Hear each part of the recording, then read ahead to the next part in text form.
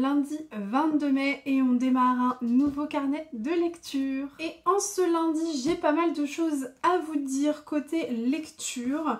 Nous sommes donc lendemain de grand week-end, week-end d'ascension. Donc pour ma part, je n'ai pas fait le pont, mais j'imagine que vous avez été nombreux à le faire. J'espère que vous avez profité de ce week-end de l'ascension, que vous avez pu euh, profiter de vos proches, du beau temps si c'était le cas. Par chez nous, il a fait beau, donc on en a profité. Ça n'arrive pas tout le temps quand même. Euh, et, puis, euh, et puis voilà, j'espère que vous en avez aussi profité pour faire de belles découvertes livresques. Ceci étant dit, je vous propose de démarrer cette vidéo avec ma nouvelle lecture, ma lecture en cours qui n'est autre que euh, la réception que je vous avais présentée dans le carnet de lecture, alors pas le dernier mais le précédent, je crois que c'était le carnet de lecture numéro 50 de mémoire. Euh, il s'agissait d'une réception envoyée par HarperCollins et Babelio, la bibliothèque des livres brûlés de Brianna Labusque, Labusque, je ne sais pas exactement comment ça se prononce. Je l'ai bien démarré puisque j'en suis ici, donc page 127. Et il en fait 400 et quelques. Donc c'est quand même un beau bébé. Je suis très contente de le lire. Alors là, comme vous le voyez peut-être, ce sont les épreuves non corrigées. Le roman est sorti début mai. Donc vous pouvez d'ores et déjà le retrouver en librairie. Je suis contente d'avoir l'occasion de le découvrir parce que je ne l'ai pas beaucoup vu passer sur les réseaux et je me suis rendu compte dernièrement que les dernières vidéos que je vous ai présentées, il y a quand même beaucoup de livres qu'on voit énormément passer sur les réseaux en ce moment. Donc je me suis dit que cette semaine, vous faire un petit carnet de lecture avec des lectures que l'on voit moins passer, avec des romans dont on entend assez peu parler, ça change aussi et ça vous permet de voir un petit peu autre chose. Donc celui-ci, moi j'en ai pas entendu parler, peut-être que vous euh, si, mais euh, en attendant, je vais euh, vous faire un petit résumé. Ce sera ma lecture qui m'accompagnera toute cette semaine, donc je vais pouvoir vous en reparler. On est donc sur un roman choral, La bibliothèque des livres brûlés. C'est un roman qui se passe sur plusieurs temporalités et c'est un roman qui est raconté par plusieurs personnes. Donc vous avez d'abord une première temporalité, euh, donc vous êtes à Berlin en 1933 et dans, dans cette période-là, on fait la connaissance de Althea James qui est une américaine qui reçoit une invitation pour participer à un programme d'échange culturel et donc elle débarque à Berlin en Allemagne et en fait elle rencontre énormément de, personnes de milieux culturels, hein, de, plutôt de, de milieux intellectuels et c'est pile à la période bien évidemment où Hitler est nommé chancelier. Donc elle va évoluer un peu dans le monde nazi, dans le milieu nazi. Et, euh, donc on découvre une jeune femme qui est assez naïve, qui découvre le monde, qui découvre euh, les voyages, parce que du coup elle n'avait pas vu grand chose d'autre que sa petite bourgade dans le Maine aux états unis Et donc on, la, on la suit parmi toutes les découvertes qu'elle fait. Et c'est vrai que pour le moment en tout cas, c'est un personnage que je trouve assez naïf. À côté de ça, en parallèle en tout cas, on suit également Anna Brecht euh, en 1936 à Paris. Et donc Anna, euh, c'est une euh, jeune allemande qui a fui l'Allemagne nazie pour s'installer à Paris dans la ville lumière. Anna est juive et en fait elle se rend assez vite compte que même si elle a changé de pays, le nazisme traverse un petit peu les frontières, hein, puisque bon bah vous vous en doutez, pareil, 1936, Paris, bon bah on se doute bien que la collaboration commence un petit peu à monter, même si on n'est pas du tout en guerre encore et que voilà, le conflit n'a pas encore éclaté. Bon, bah on, voit quand même pas mal d'antisémitisme qui monte. Et ça transparaît énormément dans le roman, c'est d'ailleurs très bien fait. Et en 1944, derrière, dernière période que l'on suit dans ce roman, on est à New York et là on suit Vivian Child euh, qui a décidé de se lancer. Je regarde en même temps parce que c'est plus trop clair dans mon esprit. En fait, elle a décidé de se lancer dans un programme qui permet d'envoyer des livres aux soldats euh, américains qui sont mobilisés en Europe. Et donc, euh, ce sont des livres expédiés par millions qu'elle envoie à ses soldats à l'étranger. Ce sont euh, des livres qui leur permettent de tenir un peu, de, voir autre chose que leur quotidien euh, de guerre. Et, euh, en fait, elle, s'est lancée dans ce programme-là depuis que son mari a été tué et lui a envoyé une lettre où il lui explique qu'il la remercie pour le roman qu'elle lui a envoyé. Alors je crois que ce sont... il me semble que le roman c'est Oliver Twist de Charles Dickens d'ailleurs. Et, donc voilà, et en fait il meurt une journée peut-être après lui avoir écrit cette lettre où il lui explique que euh, Oliver Twist pour lui c'est euh, assez salvateur parce que ça lui permet de voir autre chose que la guerre. Donc voilà, c'est le quotidien de ces trois femmes que l'on suit. Euh, autant vous dire que pour l'instant j'aime beaucoup. je pense que je ne... vous n'allez pas découvrir quelque chose, mais si vous me suivez depuis un petit peu de temps, vous savez que les romans historiques, c'est vraiment quelque chose que j'apprécie énormément. Et euh, là, ben, on retrouve euh, tout ce que j'aime, euh, plusieurs temporalités, un roman choral, une histoire dans l'histoire avec un grand H, et ça, ben, ça a tout pour me plaire. Bien sûr, je viendrai vous en reparler tout au long de cette semaine pendant ma lecture. Autre chose dont je voulais vous parler aujourd'hui, ce week-end, je suis allée en librairie parce que j'avais une carte cadeau à utiliser, donc j'ai acheté deux petits livres. J'ai pas acheté que des livres pour moi, rassurez-vous, vous allez vous dire, mais c'est pas possible, à chaque fois qu'elle va en librairie, elle achète quelque chose pour elle. Non, non, non, j'ai aussi utilisé cette carte cadeau pour acheter des livres pour mon fils, enfin des livres et des activités manuelles, hein. il n'y avait pas que ça. Mais du coup, euh, moi pour le coup, j'ai quand même craqué pour deux romans que j'ai assez peu vu passer sur les réseaux également. Le premier, qui est peut-être un peu plus connu quand même, c'est un roman de Joyce Maynard. Maynard, je sais pas comment ça se dit. Maynard, qui s'appelle Où vivaient les gens heureux. Et donc, euh, je vous lis la quatrième de couverture. Lorsque Eleanor, jeune artiste à succès, achète une maison dans la campagne du New Hampshire, elle cherche à oublier un passé difficile. Sa rencontre avec le séduisant Cam lui ouvre un univers, un nouvel univers animé par la venue de trois enfants, la secrète Allison, l'optimiste Ursula et le doux Toby. Comblée, Eleanor vit l'accomplissement d'un rêve. Très tôt laissée à elle-même par des parents indifférents, elle semble prête à tous les sacrifices, pour ses enfants. Et si entre Cam et Eleanor la passion n'est plus aussi vibrante, cette vie familiale au cœur de la nature lui offre des joies inespérées jusqu'au jour où survient un terrible accident. Bon, clairement, on est sur un roman de type euh, familial. Euh, J'en ai pas mal entendu parler de ce livre-là. Euh, je, je sais pas, enfin c'est pas forcément sur les réseaux, mais dans mon entourage j'en ai beaucoup entendu parler et euh, on m'en a dit beaucoup de bien. Donc euh, c'est pour ça que celui-ci me tente pas mal. Donc où vivaient les gens heureux. Et le second pour lequel j'ai craqué, là aussi j'en ai pas mal entendu parler, mais plutôt par mon entourage, pas forcément sur les réseaux.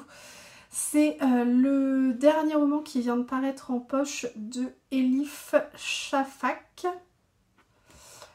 L'île aux arbres disparus. J'aime beaucoup la couve. Je la trouve très jolie. Pour euh, ceux qui ne... Enfin, peut-être que vous connaissez parce que euh, cet auteur a écrit Soufi, mon amour. Euh, et je sais que c'est un roman qui a fait beaucoup de bruit et qui avait été très plébiscité quand il est sorti à l'époque. Moi personnellement je n'ai pas lu de roman de cet auteur là, j'en ai beaucoup entendu parler mais je n'ai jamais lu donc voilà. Celui-ci me tente beaucoup puisque ça se passe à Chypre, donc ça me tente. Euh, l'île aux arbres disparus. Donc ce roman commence par un cri. Ce cri interminable est celui que lance Ada, adolescente de 16 ans en plein cours d'histoire dans un lycée londonien. Ce roman se termine par un rêve, celui d'une renaissance. Entre les deux a lieu la rencontre du grec Kostas Kazantzakis et d'une jeune fille turque défenée en 1974 dans une Chypre déchirée par la guerre civile. De sa prose puissante, Elif Shafak nous conte l'histoire d'un amour interdit dans un climat de haine et de violence qui, qui balait tout sur son passage, avec l'espoir tout de même de libérer la parole des générations précédentes. Voilà. Bon, bah autant vous dire que ça, ça me plaît euh, énormément. Euh, je connais pas trop euh, l'histoire de la guerre civile à Chypre même si je sais que ça a laissé énormément de traces, donc c'est l'occasion d'en apprendre un petit peu plus. L'île aux arbres disparus. Si vous avez lu les deux romans dont je viens de vous parler, n'hésitez pas à me donner votre avis en commentaire, ça m'intéresse vraiment de savoir ce que vous en avez pensé, puisque comme je vous le disais, c'est des romans que j'ai assez peu vu passer sur les réseaux, c'est plutôt des, romans dont mon entourage m'a parlé, donc, donc n'hésitez pas. sur ce, je vais vous laisser là, on est sur la pause déjeuner, il est 13h32, il est grand temps pour moi de reprendre à travailler. Je prends donc mon café et je vous dis à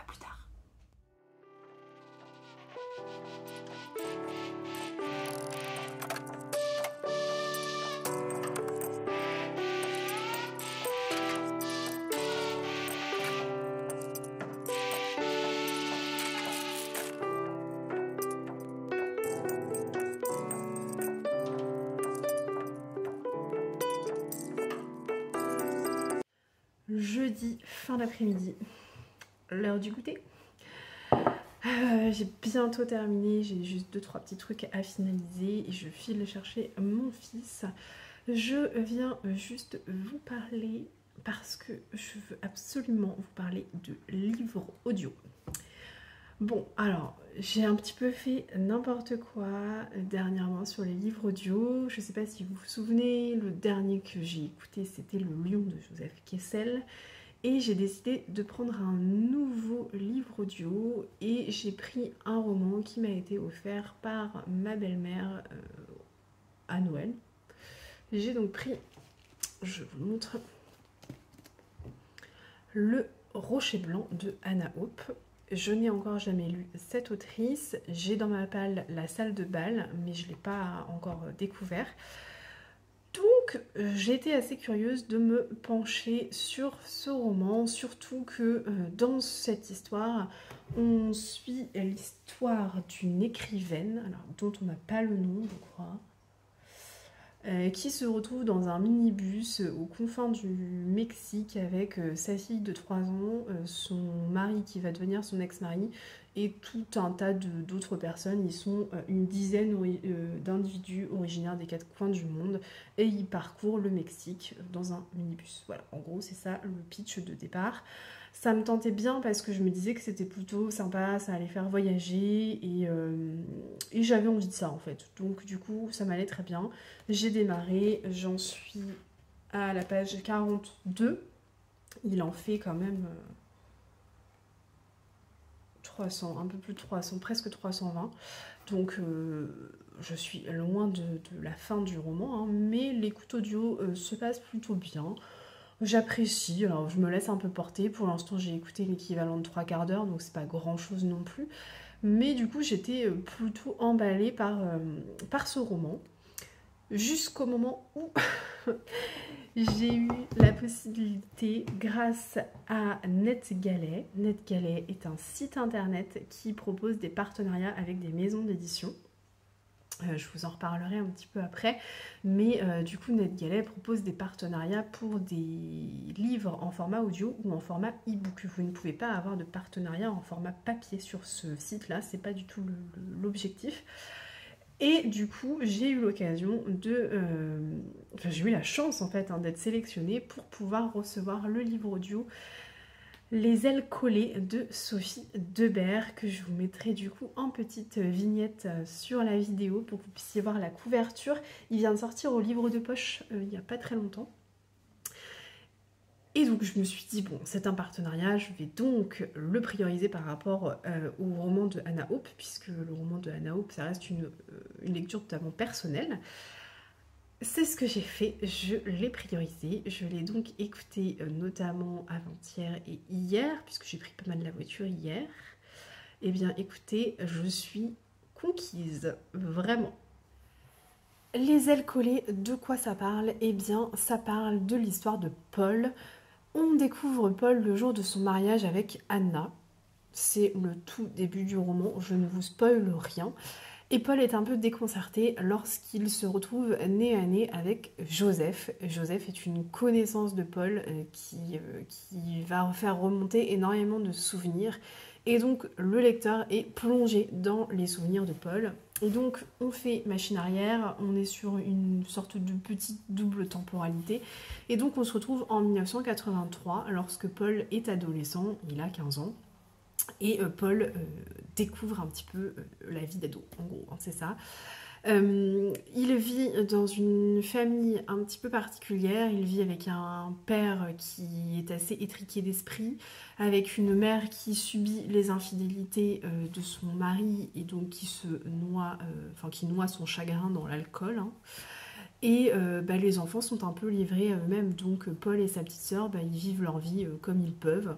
Ils avancent tranquillement en se serrant un peu les coudes, mais c'est pas forcément évident tous les jours. En plus de ça, Paul est un enfant bègue, donc ça n'arrange rien. Donc il a déjà eu beaucoup de difficultés quand il était enfant à se faire accepter des autres enfants dans la cour de récré vis-à-vis de ce petit handicap-là. Il va réussir à gommer ses imperfections, entre guillemets, de.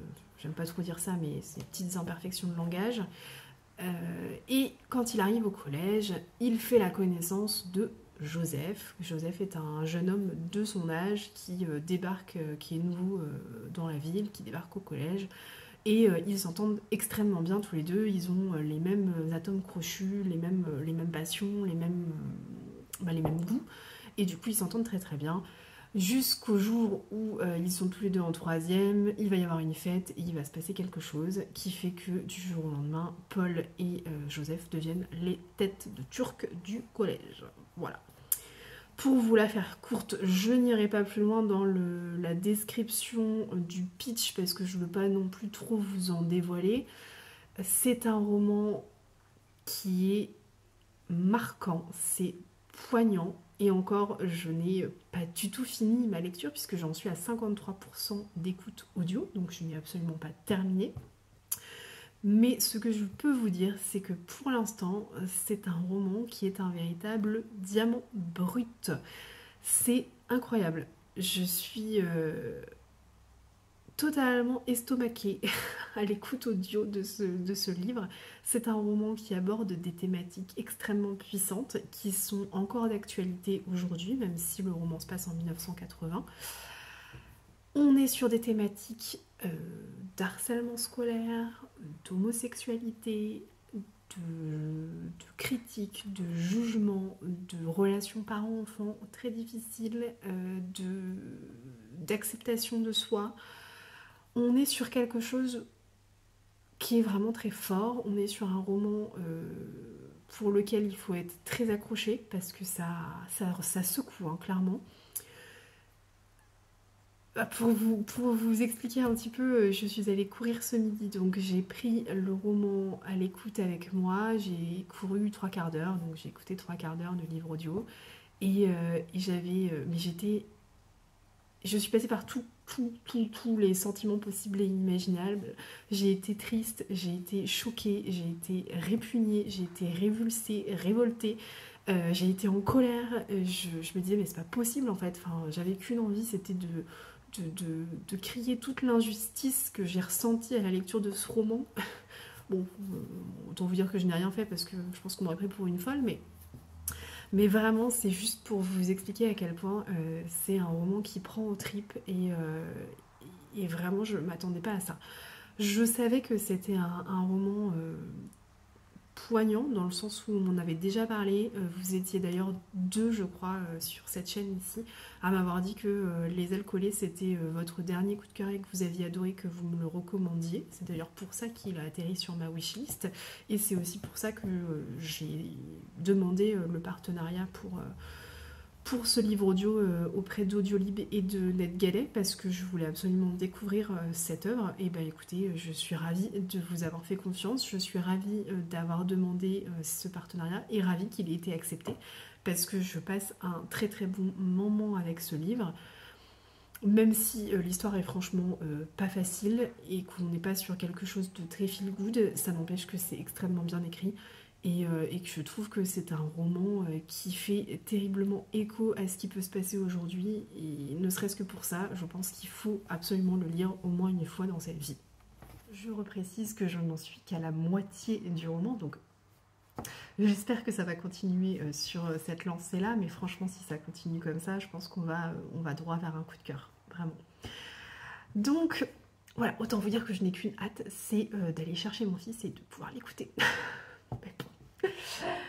Bref, bref, bref. Euh, sur ce, je n'ai pas terminé euh, ma lecture euh, papier qui est la bibliothèque des livres brûlés. Il me reste plus grand chose, hein. il me reste à peine 50 pages, je pense, donc je pense que je vais le terminer ce soir. Surtout que je suis en solo ce soir, donc je vais, je vais le lire, je pense. Je vais le finir. Mais c'est vrai que bah, du coup, à côté des ailes, enfin du livre de Sophie de, Debert, Les ailes collées, bon, il fait un peu pas le figure, je vous avoue. Mais bon, il faut bien que je le termine. Je vais le terminer, je vais le chroniquer pour Babelio et euh, dans les temps. Et comme ça, euh, comme ça, je pourrais passer à une autre lecture papier. Écoutez, je pense que c'est à peu près tout ce que euh, j'avais à vous dire. Je vous parle quand même rapidement de NetGalais. Comme je vous le disais, NetGalais est un site qui permet d'obtenir des partenariats proposés par les maisons d'édition ce sont uniquement des e-books et des livres audio que vous retrouvez sur ce site. Comme vous pouvez le voir, vous avez accès à votre tableau de bord et vous pouvez sélectionner les catégories que vous préférez, vos catégories favorites. Et dedans, vous avez accès aux livres ajoutés récemment. Vous avez donc les livres e-book ou les livres audio, selon votre préférence.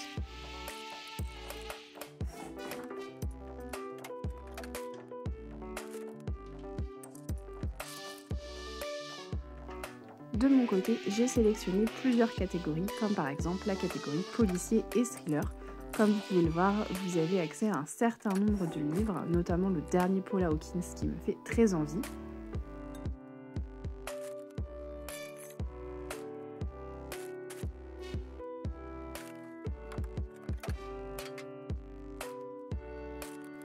Bien sûr, comme tout type de partenariat, vous vous engagez à chroniquer le livre dans un délai de deux mois sur la plateforme NetGalley.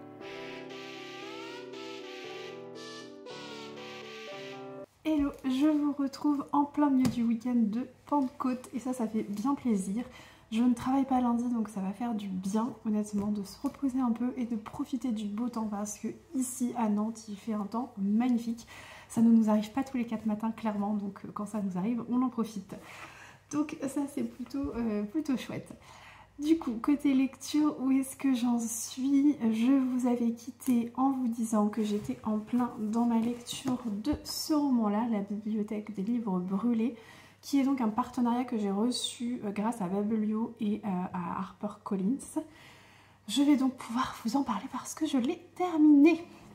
Donc je vous avais euh, expliqué un petit peu ce qui se passait au niveau de l'histoire, donc je ne vais pas vous refaire tout le, contexte. Mais euh, surtout que bah, du coup pour vous c'était il n'y a pas si longtemps que ça puisque c'était dans la vidéo, hein, donc euh, clairement je ne vais pas tout vous réexpliquer. Ce que je vous disais c'est que j'étais carrément emballée par ce roman. Franchement un livre qui se passe en plein milieu de la Seconde Guerre mondiale, enfin pardon, pas en plein milieu, ça se passe avant la Seconde Guerre mondiale. Ça se passe pendant la montée en puissance de, des nazis, du régime nazi. Euh, ça se passe pendant la nuit des autodafés. Donc euh, clairement, moi, c'était un roman où je me disais, mais c'est juste euh, parfait comme thématique. Tout ce qui est attrait à la montée en puissance de ces régimes totalitaires et la naissance entre guillemets de la Seconde Guerre mondiale, moi ce sont des thématiques historiques qui m'intéressent énormément, donc j'étais carrément emballée pour lire ce livre-là.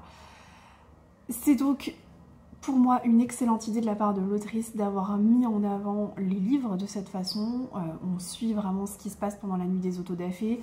On, on parle de toute la montée en puissance du régime nazi. C'est vraiment original, je trouve, comme façon de faire. Ce roman choral est très bien pensé, très bien ficelé. Mais euh, je me suis assez vite désintéressée de l'histoire, malheureusement.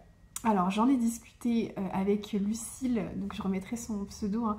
Alors elle pour le coup elle n'a pas du tout accroché dès le départ. Euh, moi ça a été plutôt l'inverse. J'ai accroché pas mal au début, je me suis vraiment laissée embarquer par l'histoire pendant les 100-150 premières pages. Et puis après petit à petit je me suis désintéressée de l'histoire. Je trouvais que c'était un petit peu dommage.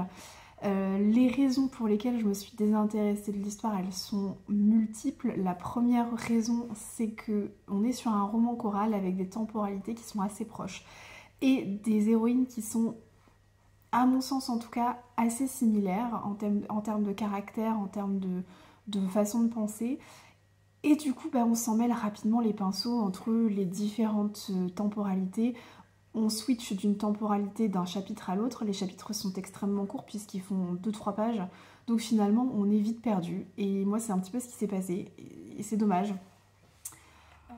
Finalement, j'ai trouvé que c'était un roman qui manquait un petit peu de relief. C'est une histoire qui, à mon sens, n'est pas creusée assez. Et euh, je trouve qu'on reste un petit peu trop en surface. C'est un petit peu trop lisse pour moi. C'est encore une fois assez dommage. Les personnages féminins de ce roman sont des personnages extrêmement charismatiques. On sent que ce sont des femmes fortes qui se battent pour leurs convictions. C'est... Ça aurait pu clairement marcher, ça aurait pu clairement le faire parce qu'encore une fois, euh, ces femmes, elles, ont tout des, de personnages forts et de personnages qui restent en tête. Mais malheureusement, je me suis pas attachée à elles. En fait, elles sont trois dans le roman et je me suis attachée à aucune d'entre elles, même si effectivement elles ont vécu des choses très difficiles, des, choses euh, même horribles, hein, euh, voilà. J'ai pas eu d'attachement particulier et du coup, bah, je me suis vraiment désintéressée de l'histoire euh, au fur et à mesure. La fin m'a laissé un petit peu de marbre. Je vais pas vous en dire trop parce que je veux pas vous spoiler si c'est un roman que vous souhaitez lire, donc je ne vous en dirai pas plus mais j'ai trouvé que c'était un peu facile et euh, voilà. Donc je reste un petit peu sur ma fin sur ce roman-là, euh, même si euh, l'idée, enfin, on va dire que malgré tout, même si le roman ne m'a pas convaincue, j'ai trouvé que ce qui était intéressant dans ce roman, c'est la façon non conformiste de traiter l'histoire avec un grand H.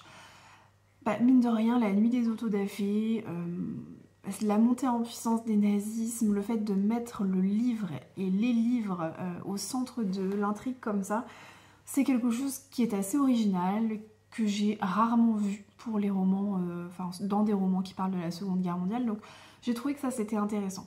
Après malheureusement, euh, ça reste une lecture en demi-teinte pour moi, puisque à mon sens, on n'est pas allé au bout des choses et on aurait pu faire un peu plus. J'en profite pour boire mon café puisqu'il est 14h, euh, c'est le début de l'après-midi donc euh,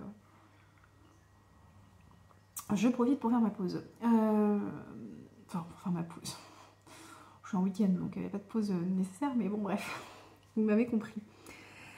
Niveau lecture audio, je suis toujours plongée dans Les ailes collées de Sophie Debert. Je suis toujours complètement emballée par cette lecture. J'ai écouté l'équivalent de 93% je crois, donc il me reste vraiment plus rien. Il doit me rester 50 minutes, quelque chose comme ça. Il faut juste que j'arrive à trouver les 50 minutes pour finir le livre. Mais vraiment, je l'ai écouté à une vitesse record, en un temps record, parce que vraiment, après j'ai fait beaucoup de voitures aussi cette semaine, donc ça m'a bien aidé, mais c'est vrai que euh, vraiment je l'ai euh, écouté euh, avec beaucoup d'envie, avec beaucoup de plaisir. Je l'ai retourné à chaque fois avec avec énormément d'envie. Donc euh, c'est clair que je pense qu'on est sur euh, un petit coup de cœur là quand même. Donc je vous en reparlerai, je ne vais pas vous en reparler maintenant, ça sert à rien. Attendons, euh, attendons la fin, on va voir ce que Sophie Debert nous a concocté pour la fin de ce roman. Sinon, en termes de papier, j'ai repris une lecture. Alors pour le coup, je ne l'ai pas pris en lecture papier, je l'ai pris sur ma liseuse. puisque c'est un partenariat encore une fois avec Ned Gallet cette vidéo va être à fond d'être galet. Je vous disais donc que j'étais en pleine lecture d'un roman sur ma liseuse, roman euh, issu d'un partenariat avec Ned Galet et la maison d'édition XO. Il s'agit du dernier roman de euh, Sandra Martineau. Sandra Martineau, je ne sais pas si vous vous souvenez, j'ai lu son... Alors c'est pas son premier roman, hein, loin de là parce qu'elle en a écrit pas mal, Sandra Martineau, mais euh, l'année dernière, elle avait sorti son tout premier roman, entre guillemets, feel good, euh, puisque à la base, en tout cas, c'est une autrice plutôt de policier et de thriller. Et donc l'année dernière, elle avait sorti un roman euh, aux éditions EXO qui s'appelle Changer de ciel pour mieux voir les étoiles. Donc je l'avais lu euh, l'année dernière, je l'avais rencontré, l'autrice, je l'avais rencontrée dans, le cadre d'une rencontre dans une librairie juste à côté de chez moi.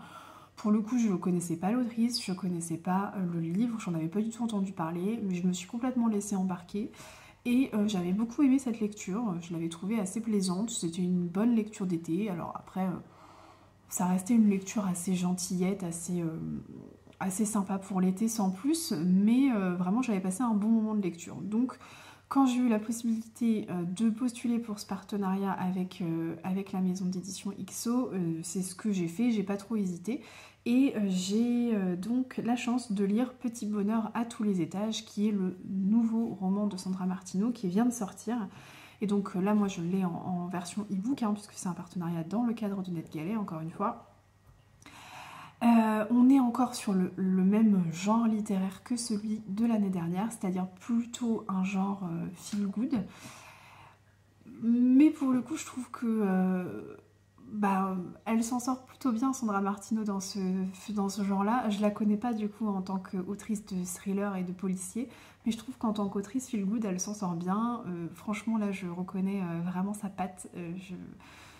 Elle, a une façon d'écrire assez particulière et euh, je trouve qu'elle est reconnaissable entre mille cette façon d'écrire. Donc c'est euh, plutôt sympathique, je suis assez contente de retrouver euh, son écriture, de retrouver son univers, même si là pour le coup l'histoire est vraiment différente de celle de changer de ciel pour mieux voir les étoiles. Mais ça n'empêche que pour le moment j'aime bien, j'ai lu 32%, donc j'en suis pas très très loin, mais ça se lit vite, ça se lit bien. Et euh, je pense que typiquement euh, dans les jours à venir, c'est euh, le genre de livre que je vais prendre au bord de la piscine pour bronzer un peu. Voilà mon programme.